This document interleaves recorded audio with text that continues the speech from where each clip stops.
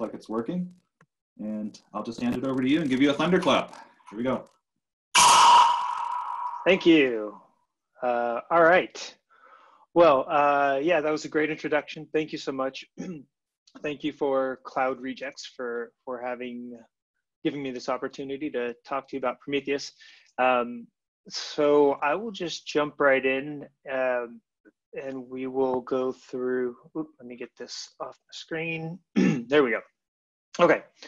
Um, so uh, yeah, right. We'll just jump right in and talk about Prometheus uh, production grade monitoring with Prometheus Federation. That's really going to be the focus here. Uh, we've got 30 minutes here, and um, using Prometheus in production is a pretty advanced topic. We could probably talk for a few hours about it. Uh, so I really wanted to concentrate on one of the pieces where I work with the community a lot, which is uh, integrating Prometheus, uh, we're using Prometheus Federation to col or aggregate all these metrics that come from uh, different smaller Prometheus instances into one larger Prometheus instance. So uh, let's see, we'll keep moving here. This is me. Uh, I, I, you did a great job on the introduction. I don't think there's much more to say other than if you have questions or you want to learn about what I'm making in the kitchen, that's what I'm doing now that we're on, on quarantine these days. So uh, yeah, come visit me in Slack, Linkerd Slack, and uh, I'll, I'll, we'll chat with you about anything really. In this presentation, we'll talk about a quick Prometheus overview. This is meant to be a, little bit more than uh, beginner. So again, we'll just refresh on some topics. Then we'll talk about deploying Prometheus and what that looks like and then we'll dive into federation and I'll show you a, an instance that's connected to a couple of clusters, which is which was really fun to set up. So let's dive right in. Prometheus overview, you know, the basics are that it's a systems and service monitoring system. It is designed for collecting high cardinality, multi-dimensional data.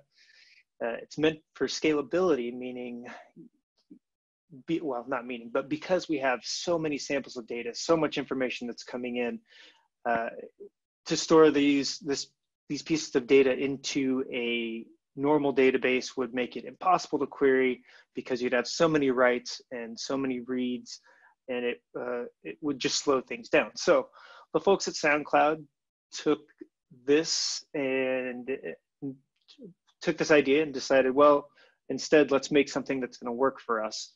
And they created sound or sorry they created prometheus and uh, the rest i guess is kind of history. It's a graduated cncf project. Linkerd is also part of the cncf and we'll see how uh, i integrate linkerd with prometheus specifically uh, and at the end of the day, a lot of the conversations that I have with folks are around the fact that we have a lot of tools in our observ observability and monitoring toolkit. And in this case, Prometheus is, uh, I think it's an important and powerful tool. And as I mentioned in the description of this talk, it really is becoming uh, pretty ubiquitous. Almost everybody is using Prometheus. And even in the last presentation, we had somebody asking if uh, Antrea, I hope I got that right, supports uh, Prometheus metrics. So um, yeah, it's it's everywhere, and it's very very useful, very helpful. So that's the basics. When we talk about deploying Prometheus, we're talking about uh, again a, more of a production grade type of deployment. Um, when I first started using Prometheus, I was kicking the tires on it and I created an instance and ran the binary and had a very simple configuration. And in fact, I'm using that today for this, this presentation. So the, there are a lot of things to take into consideration. And in order to do that, we should understand the Prometheus architecture. As we can see here, there's the main Prometheus server, and they've done a really good job of giving you different ways to to, to deploy Prometheus. Uh, we, I have seen it most often run in a as a binary on a separate server because people often treat it just like a database. And I, I think I come from the days of monolithic applications and um, building J2EE sites where we're running against uh, an or something like Oracle or MySQL. So I see a lot of, of people treating Prometheus in the same way that you might treat a database server. The good news is you don't have to do that. You can very easily run it in Kubernetes. Uh, the point that I was making there is that the team has done a really good job, the community, I should say, has done a really good job of making it so that you can deploy Prometheus anywhere in multiple ways. Um, again, we're going to run it in a binary today on a virtual machine and uh, take a look at see, see what that looks like. Things to consider while you're deploying Prometheus, uh, especially for production. Storage for me is, is one of the main ones. Um, and that, I, I, made the assumption here that that includes in-memory storage as well. Uh, it's important to call out that when I'm talking about storage here, I'm talking about in-memory and physical storage. Uh, Prometheus has several integrations with a number of different storage providers, specifically time series storage providers like InfluxDB. I'm going to miss so many names here, and I, this is a, a scenario where um, I think there are enough that you can, when you're deploying Prometheus, you can pick the one that makes sense for you, the one that your company is using. Um, and pers- I haven't tried them all, so I can't make like a recommendation about which one I think is best for integrating with Prometheus. So um, the uh, the docs have a really good amount of information about uh, where the storage types. Um, but one thing to take into consideration for specifically for physical storage is that um, the the docs themselves mention that when we're sampling this time series data, we can expect one to two bytes per sample. And so uh, I did a little bit of, of napkin math here. And so the algorithm that they provide is that you have uh, the number, the amount of storage that you need is the number of seconds of retention times the number of samples per uh, per per uh, sorry per minute, number of samples per minute. So in one of my test environments, I looked up the number of samples that I was, excuse me, that I was getting per scrape or per minute, and I was scraping every minute. So it was 1,200 samples, which means that uh, I was getting 200 per second. So when I put all this math together, that ends up for storing 15 days of data it ends up being 259 megabytes at one byte. So if we increase that to two bytes, clearly it doubles and we're, about, we're at about half a gig. So I bring this up because that was one of the first conversations that I had with, uh, with a, a, user in the community who was collecting a ton of, of metrics. And so when we think about distributed systems and all the different sources that we can start collecting metrics from, from, it's really easy to point Prometheus and say, go scrape this target, grab me this data and just collect it. And the easy part to do there is, especially if we're using um, cloud native technologies, which are scaling, and so uh, you all of a sudden have uh, a bunch of replicas or instances of a service that you're scraping from, Prometheus is going to say, okay, you told me to go scrape this, I'm gonna scrape it, and all of a sudden you've got this, uh, this massive collection of data that could be slowing down your your your application or sorry wouldn't be your application. It would be your prometheus instance and your ability to collect that, those metrics and that data. So um, and anecdotally the the note that i have is that there was one user that had allocated i believe a terabyte of memory to their prometheus instance because of out of all the systems that they were scraping metrics from they had to, in order for Prometheus to be usable, they had to have this much memory. Uh, it's my understanding that that has that was an older version of Prometheus, and since 2.13, memory consumption and usage has got much better. So um, again, that's anecdotal. Uh, just the fact that we have something that can manage that much data and query over it is really, really impressive. So again, considering storage, we have memory and we have um, actual physical storage. And there are storage providers that Prometheus integrates with. Security is uh, the next thing to consider. In short, Prometheus is wide open. Uh, the, and what I mean by that is the endpoints are wide open. So you'll want to, when you deploy Prometheus, make sure that if you've got dashboards or endpoints, that those are internal, they're not accessible from the outside world. If you do have to access them from the outside world, make sure it's through a VPN or a VPC or something like that.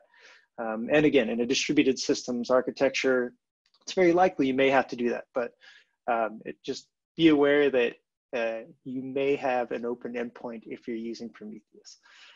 Uh, another aspect is using the push gateway there are situations where it's possible to have uh, a lot of information that you're collecting. So Prometheus, uh, let's take a step back.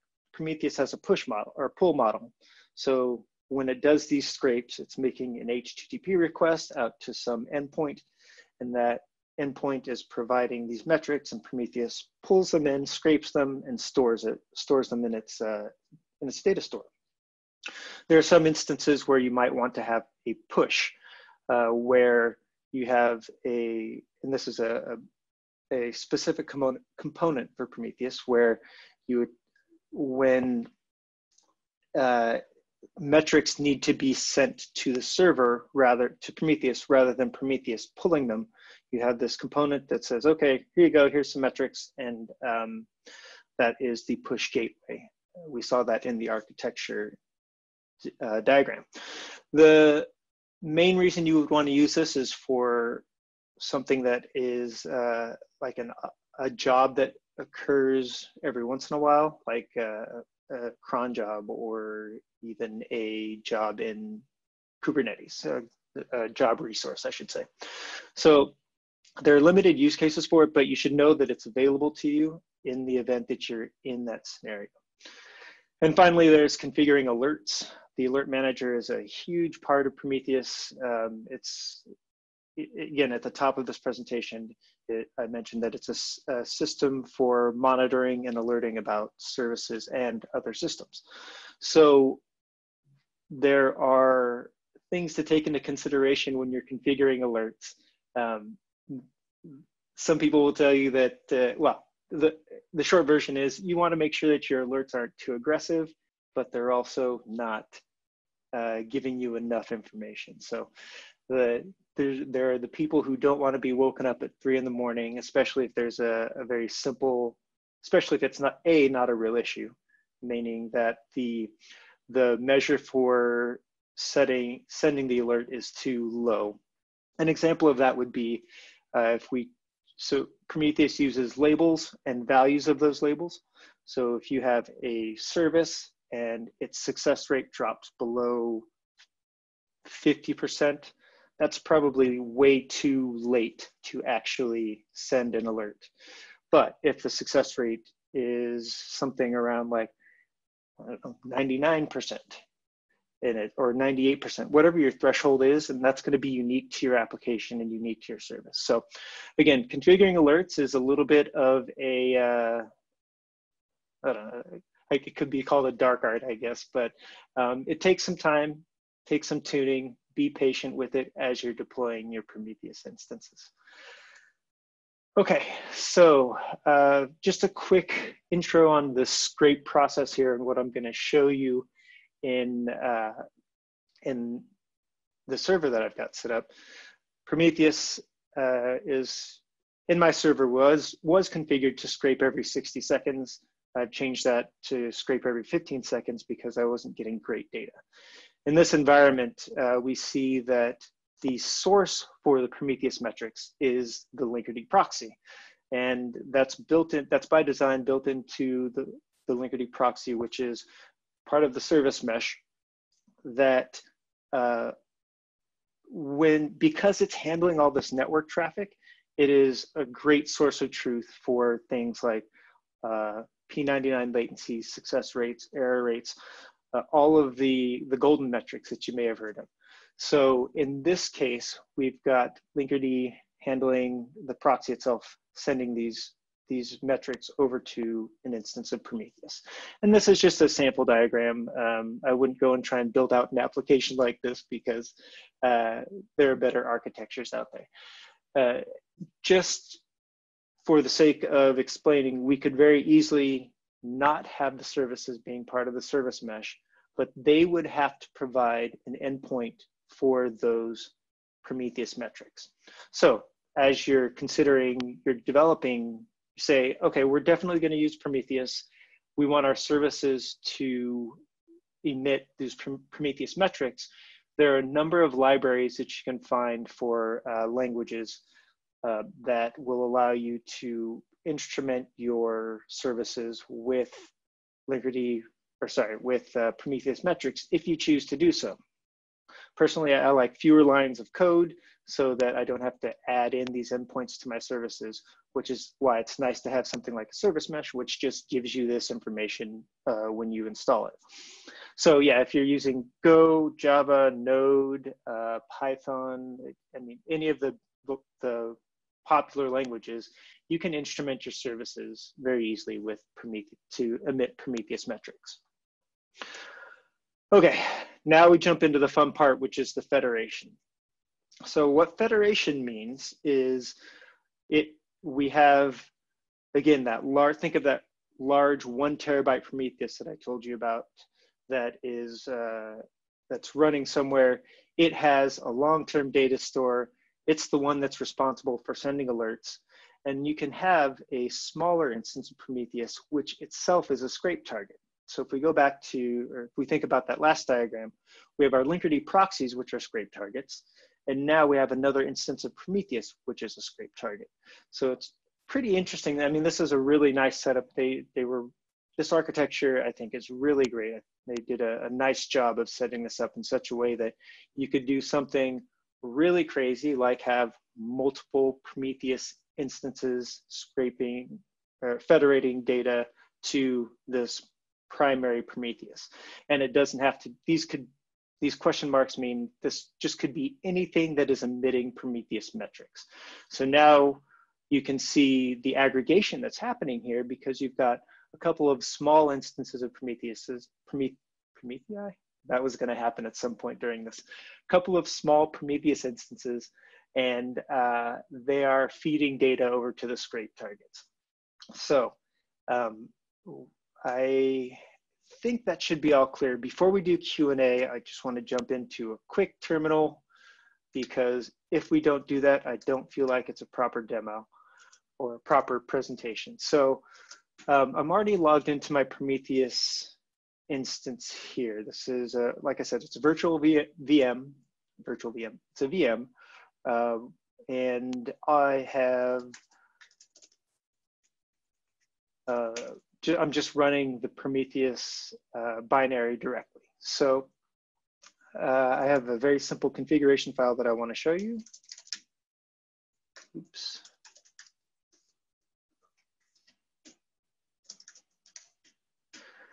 Okay, so the are there are some, this is a very simple, very simple Prometheus configuration file. We've got some global configurations that say scrape targets every 15 seconds. I have nothing in the alert uh, manager configuration right now. Uh, but what I wanna show you is this part down here. And this is where my federation is coming into play. So I have, when you install Linkerd, it deploys a again, one of these small instances, in memory only instance of Prometheus. And it stores data for six hours, which is way shorter than uh, you would want to really understand what your application is doing. And it's meant to be, the metrics are meant to be exported to a, an instance like the one that we're looking at here. So uh, I've configured this one to have a scrape interval of 15 seconds, which is the same as the global configuration. The reason that I had this here is because I had it set to a longer duration before. So you can set this to whoever, whatever you think is important for your application. And then we can see that the queries, uh, the query that it generates, and Prometheus has its own query language. I should have mentioned this at the beginning. It's called PromQL, and it uh, we'll take a look at some of the syntax. I've got about 10 minutes left, so I'll, I'll probably spend, I'll rush, not rush through this, I'll get through this as quickly as I can and still have time for questions. And what we can see here is that I have these uh, static config targets, which are two Kubernetes clusters running Linkerd, where I've exposed the Linkerd, um, Linkerd Prometheus instance. So uh, I hope that nobody right now is spamming or hacking my my IP addresses here, but we'll see. There, have fun. We're going to shut these down after the the demo. So that is the basics of the Prometheus configuration. Um, again, this is not production grade. This would take a little bit more deployment or a little more um, work for a production deployment. Another interesting thing is that Prometheus is actually is configured to scrape itself for metrics. So um, we'll see we'll see that in the output as well. Uh, I'm a little afraid to show you this because the last time I looked at it, there were some errors in there, but this is the log file from Prometheus. We see that there are some out of order sample errors, some 404s, or uh, yeah, some bad things are happening. I need to sort this out on my own. Uh, but uh, I noticed that as I was preparing for this. Okay, now let's take a look at, um, I have to set my kube config up here. Uh, give me, bear with me for just one second.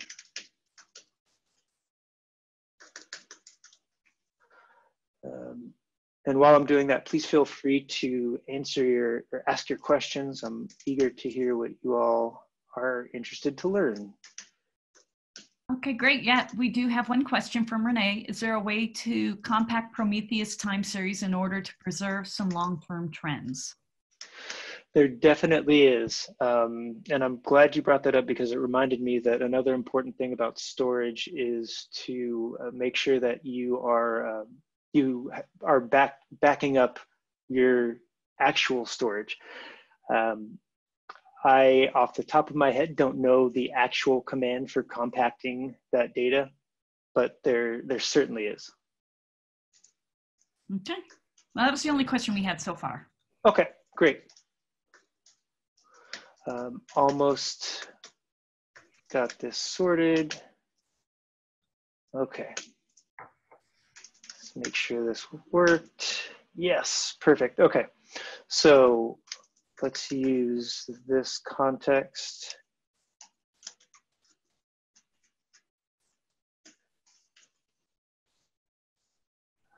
Okay, so uh, what I want to show you is that um, let's do in our Linkerd namespace, this is where uh, a Kubernetes cluster running on GKE where I have Linkerd installed, and we can see in the deployments, the and the Linkerd namespace is where the Linkerd control plane is.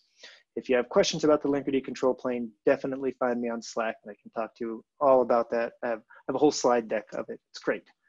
Um, but specifically, we see that we have a this instance of Prometheus, and this is actually just Prometheus running in a container. Um, so if I do look at the logs, should see, oops, there we go. Um, basic, this is the same stuff that we saw in the other log, except I had debug level turned up and or logs turned up to debug in that in the other terminal. So um, this is to show you that the Prometheus running in this other VM is scraping from, let's see, scraping from, uh, right, this load balancer here. And so that's what we saw in Linkerd Prometheus in the configuration.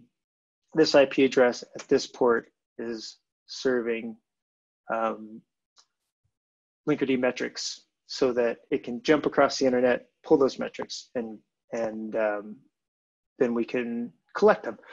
Now that we have them collected, we can then go and look at them and see uh, what run queries using the UI. Uh, and these are the these are the kinds of things that you would use for uh, building Grafana dashboards, which is something that we do in Linkerd.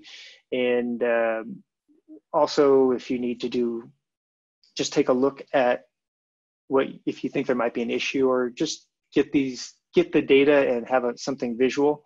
Or Prometheus comes with a great UI for running queries. So I've got a few of them saved over here, and we'll start with a simple one.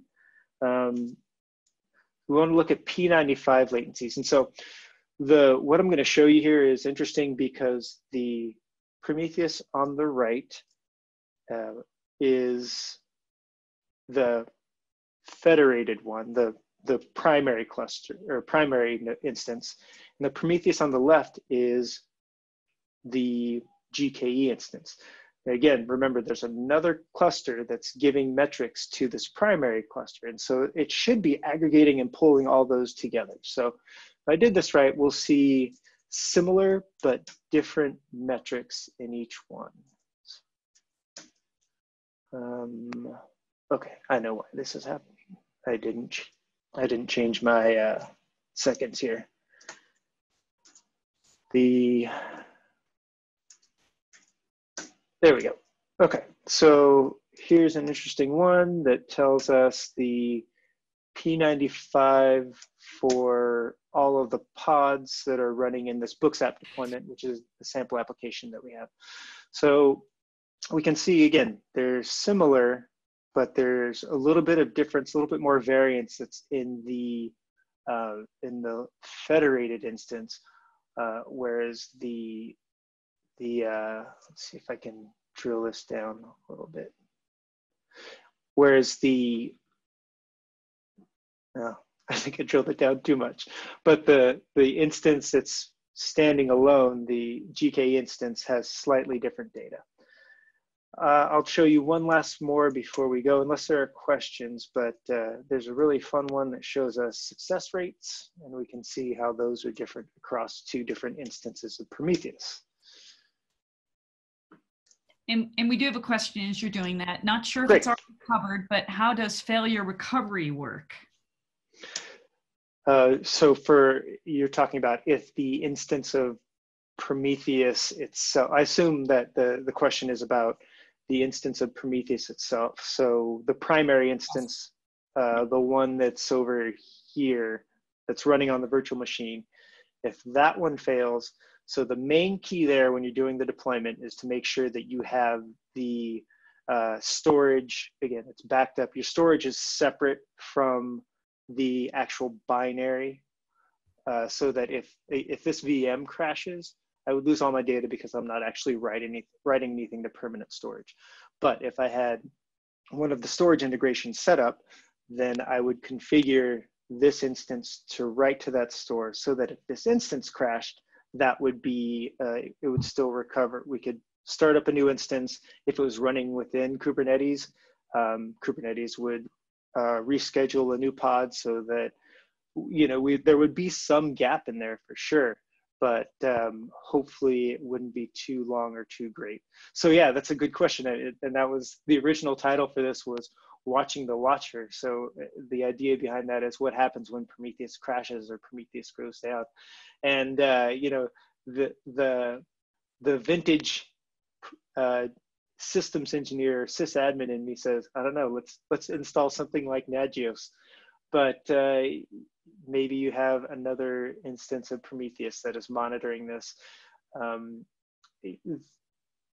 I, there are a number of different mechanisms and people probably set this up and worked with prometheus longer than i have who would have a better answer to that.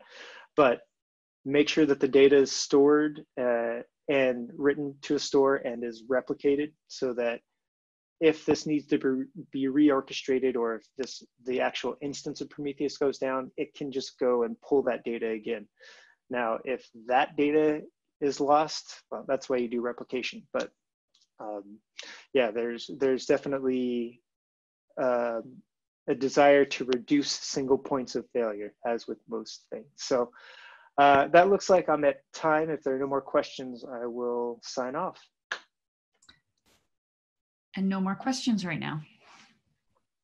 Great. Thanks Well, so thank much. you again. Oh yeah, thank you for this. This was great. I really enjoyed it.